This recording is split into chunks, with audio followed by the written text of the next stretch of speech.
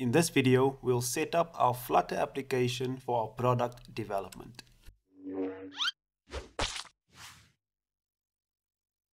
This video will focus on the setup only of our Flutter application. This setup will cover everything we need to do before we start the actual development of our product. This video is a part of a series but can be watched on its own and used on its own.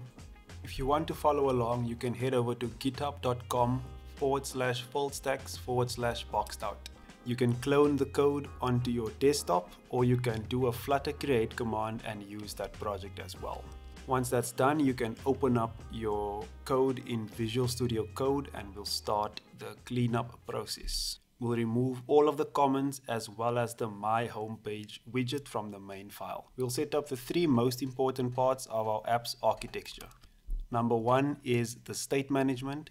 Number two is our navigation setup. And number three will cover our dependency inversion system that we'll be using.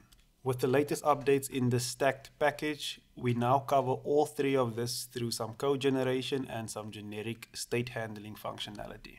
You can go over to your pubspec.yaml file and we'll add the stacked package. We'll use version 1.9.1. And in addition to that, we'll also add the stacked generator as a dev dependency. The generator is optional, but we will be using it in this video. Please know that this video does not act as a full guide to using the stacked architecture. I've actually created a full series dedicated to the stacked architecture, which I'll link the first video for in the top right corner of this video. The first thing we want to go over is our state management. Stacked uses a basic view view model approach where the view displays the UI and the view model maintains the state of the UI as well as performs any actions that the user wants to perform. The view models make use of services and those are the only three parts of our state management architecture. View, view model and services. To show off the state management functionality in a very basic way, we'll create a new folder under lib called UI and in that folder create a new folder called startup. Then inside of the startup folder we'll create two files, startup view dot and startup view model. When you open the view model file, we can create a new view model by typing stkb and pressing enter. That will use the base view model snippet and we'll do the same for the startup view by typing stkv to create a stacked view. If you don't have these snippets yet, I will link them in the description. You'll find the file called stacked.snippets.json.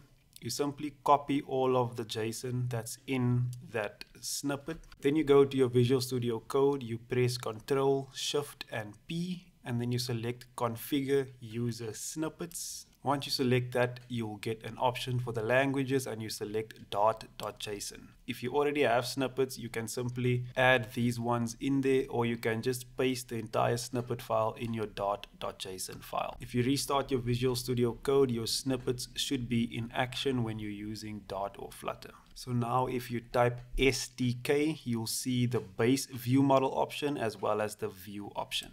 That is the basic setup of a view for our state management solution as well as a view model. This view, as you can see, has a builder function and that's where you will build the UI of whatever widget is associated with the view model. And inside of this view model, you'll have all of your business logic as well as interactions with the services. Once you change something in this view model, you'll be able to call notify listeners which will rebuild that builder as you see in the reactive constructor. This video will not be a deep dive. I just want to repeat that and give you the source where I'm actually doing a full deep dive on the state management setup for Stacked. If you go to the YouTube channel or filledstacks.com, there is an episode called State Management with Stacked and I go over all of the state management possibilities that you can use when using the stacked architecture. Anything that you want to know about stacked, there is a seven part series that you can watch in full. So this video is only to show the new and improved setup for this stacked application. The next thing to set up is our navigation functionality. So we'll copy the startup view folder and paste another one and then change all the references to startup to the word second. This will simply be to show the navigation functionality and how we'll set that up. So we'll change startup view to second view and startup view model to second view model. When you look at the code on the screen closely, you'll see that the code looks a bit different from the stuff that I showed a few seconds before, and that's because I cut out about four minutes of the tutorial. The only thing you have to actually add into your view model is a function called do something that returns a void. You can also add text in the center of the screen for the startup view. Then for the center of the second view, we'll just create a container with the color red and set the width and the height to 100. And now onto the actual new part of the stacked functionality. If you use the stacked architecture before this, you know that we used the auto route package. That was about to change and we wouldn't have been able to use it anymore. So I reached out to the author and asked if I can use the code from the old auto route package and build that into our stacked package. This will now allow us to define our routes for our app using the stack package and we'll need no external dependencies to complete the set. So in the lib folder, create a new folder called app and inside that folder, create a new file called app. In that file, we'll create a class called app setup. This class actually serves no purpose at the moment. It's only here so that we can have the annotation on top of a class. We'll add the new annotation called stacked app. This class takes in a list of routes which uses the same routes that the auto route package has defined with slight name changes. We can add a material route and set the page value to startup view. We'll also pass the initial value to true. And then we can supply a Cupertino route and set the page value to second view. And as you know, for navigation, we use the stacked services. So we'll add the package into our pubspec.yaml file. Stack services provides you with a navigation service, dialog service, snack bar service, as well as a bottom sheet service to allow you to show these things from your view model and not have to do it inside of your UI code. Then you can open up the main.dart file and we'll set the navigator key equal to stacked service dot navigator key. And then for the on generate route, we'll construct a new instance of the stacked router and pass it the on generate route function. That is the router that will be generated when we run the flutter pub run build runner build command. And before you can run that, you actually need to go to your pubspec file and add your build runner package. Once that has been added, you can run the build command in the build runner package using the flutter pub run command.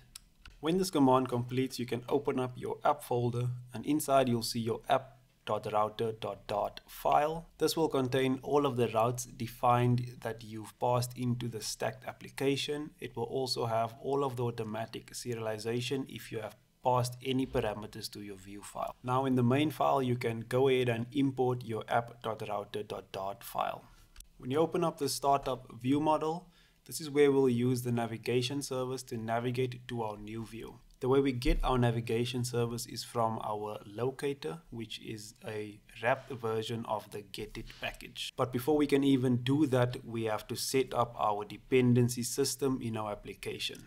This is the last part of the app setup and in the stacked application, you can define a list of dependencies. For the navigation service, we will use a lazy singleton and for the class type, we will pass the navigation service. The types of dependencies that you can use are lazy singleton, a singleton, a pre-solved singleton, as well as a factory service.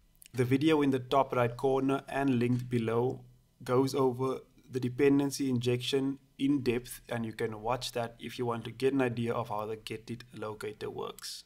Once you run the build command for the build runner, you'll see a new file created called app.locator.dart.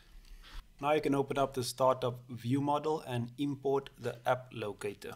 Then we'll change the do something function to call navigation service.navigate to and we'll pass in routes.secondView. Before we run the code, head over to main.dart file and call the setup locator function before you call run app. This will register the functions registered in the locator in your app.locator.dart file. And in addition to that, when you go to the startup view, you can add a floating action button. And in that floating action button, for the onPressed function, you can call the do something function. So now when you run the code and you click the floating action button, it should navigate to the second view uh, with a Cupertino navigation style. And that's basically the entire setup for state management, navigation, and dependency injection. From this point, all of the setup is complete and we can start developing the actual application. Just to show you a preview of the UI that we'll be building, this is the actual complete UI for the client application that we are building. Next week, we are going to focus on the login view as well as the create account view where we'll be able to create our accounts and create that user profile on Firebase. There's quite a lot of functionality to build, so as soon as we start with the client application, we'll slowly build out the backend to allow for us to actually develop the client application as well. Thank you guys for watching. Please let me know if you're enjoying this video. Please share this video and subscribe if you've enjoyed it and I'll see you guys next week.